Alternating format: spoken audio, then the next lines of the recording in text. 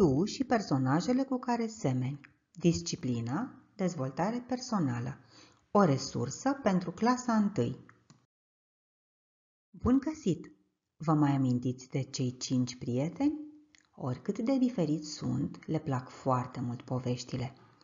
Astăzi vor să vă poarte în lumea personajelor mult iubite de fiecare dintre ei. Ne vor dezvălui calitățile personajelor îndrăgite, adică punctele tari, dar și trăsăturile mai puțin plăcute ale altor personaje. Și voi veți descoperi că vă asemănați cu unele dintre personaje și vă bucurați de acest lucru. Cu alte personaje însă nu doriți să vă asemănați. Dorei îi plac mult prințesele.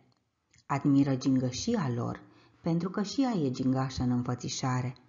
Poartă părul lung, ca mai toate prințesele, dar poate să fie și curajoasă atunci când evenimentele o cer. Andy e fascinat de toate poveștile cu animale. Le admiră energia și forța, pentru că și el e energic. Întotdeauna e curios să afle cât mai multe lucruri.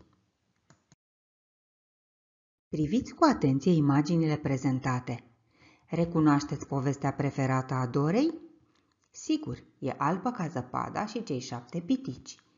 Iată pe albă ca zăpada, harnică și blândă, iubitoare de animale. Ce putem spune însă despre mama vitregă sau maștera?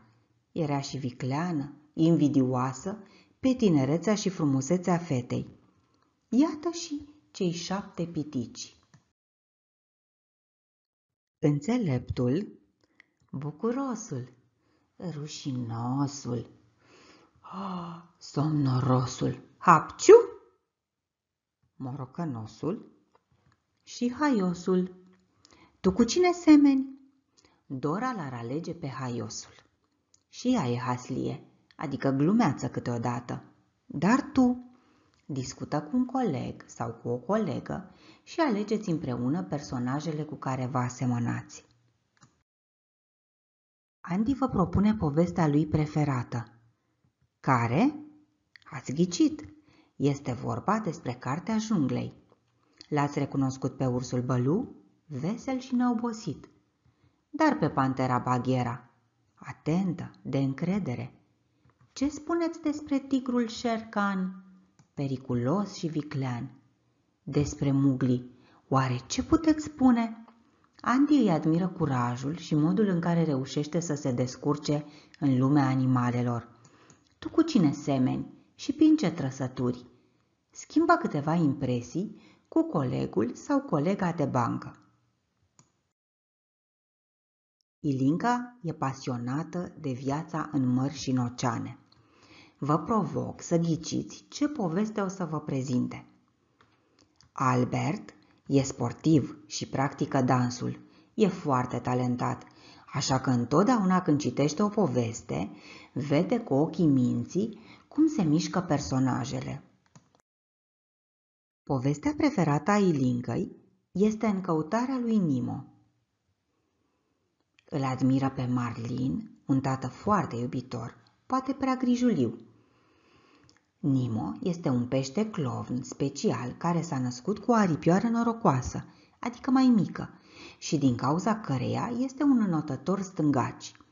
Chiar și așa, Nimo este curajos, bun și prietenos, așa cum e și Ilinca. Dacă n-ați citit povestea, Ilinca vă invită să-l cunoașteți pe Nimo și pe Dori, prietena lui. Frumoasa și bestia e povestea preferată a lui Albert. Bel sau frumoasa, și nu degeaba o chema așa, bestia care se transformă în prinț, dar și obiectele magice, adică cele care prind viață, doamna ceainic, ceasornicul și domnul lumier. Discutați între voi și stabiliți dacă din această poveste vă asemănați cu vreun personaj. Pentru Tina, cele mai frumoase povești sunt cele în care lucrurile se transformă. Un buștean de lemn se preschimbă într-un băiat, iar un dovleac într-o caleașcă.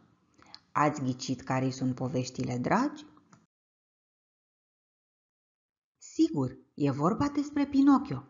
Dar oare ce personaje îi plac tinei? Sigur îl place pe Jiminy, grerașul care îl sfătuiește pe Pinocchio ce e bine să facă. Îl admiră pe Geppetto, tâmplarul atât de blând și răbdător care l-a creat pe Pinocchio. Aceasta și pentru că și ea creează, uneori sculptează, alteori modelează. Dar vulpoiul și motanul, e cineva care se aseamănă cu ei? Vă propun un joc în care să asociați fiecare copil cu povestea preferată. Ați reținut ce poveste v-a prezentat Ilinca? Dar Andy. Dar ceilalți copii. Aveți nevoie de copertele cărților ca să asociați mai ușor cu povestea preferată de fiecare dintre ei? Iată unele dintre ele.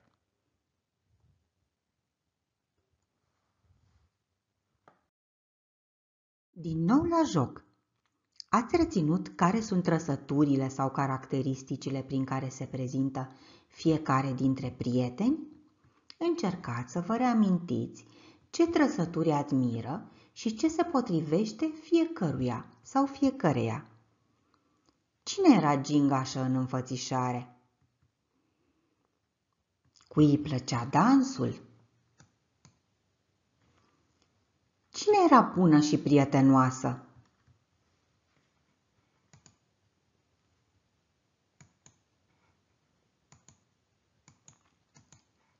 Cine era curios, dar creativ? Vă mai amintiți și alte trăsături?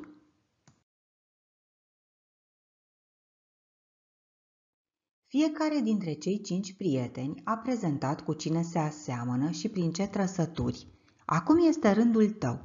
Decide cu ce personaj te asemeni și ce calitate comună ai cu acesta.